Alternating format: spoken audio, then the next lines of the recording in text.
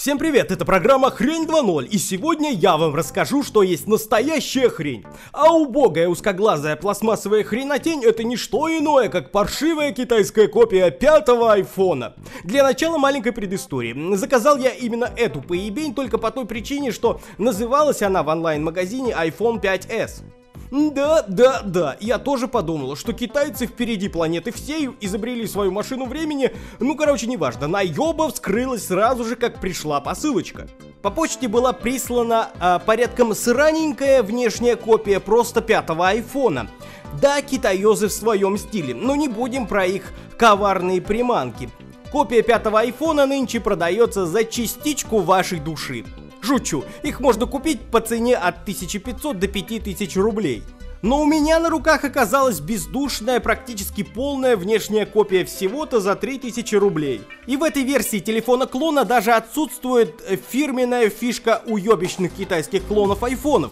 Выдвигающаяся антенка со встроенным ТВ-приемником. Поражаться наглости китайцев не нужно, это же их стиль, их почерк. По сути, подделка э, практически 95% Э, совпадает и внешне похоже на оригинал, за исключением нескольких нюансов с камерой и размером самого экрана. Он, кстати, сразу же и выдает палево. Внутри этого богохульного предмета для секты адептов Стивушки Яблочка Джобса скрывается омерзительнейшая внешняя оболочка iOS. Причем перенесенная кривым образом с другой говноподелки с iPhone 4. Поэтому моему разочарованию просто нет предела. Внутри китайцы уже миллиардный раз запихивают такую дикую внутреннюю систему, что просто тошно.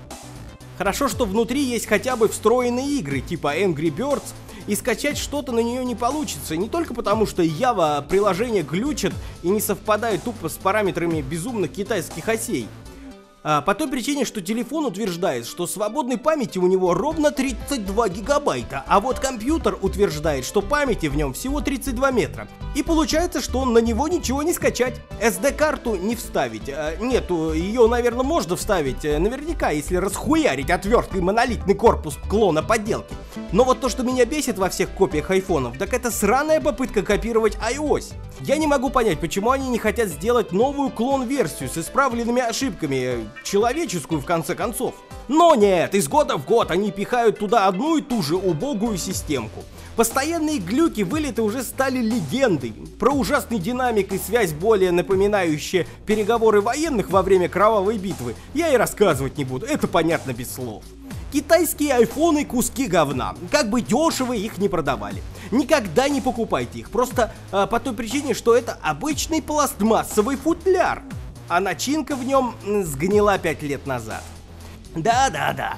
Китайские копии пятого айфона стали продавать в России и в мире за целый месяц до появления в официальной продаже реального пятого айфона. Чуете, а? А? А? А? Здесь завоняло мерзким заговором. По ходу дела кто-то клонировал не только телефон, но и самого Стива Джобса, а его китайский клон работает на славу. Такими темпами скоро на рынках мира появятся страшные новинки. iPhone 6, iPad 4 Nano 2, а очередная тупая бессмысленная книга про Стива Джобса. Но как бы хитрожопые китайские пираты не опережали свое время, все равно рано или поздно их вздернут на виселицах. Ну а мы порядком уже зачастили с обзорами на китайские девайсы с яблочком.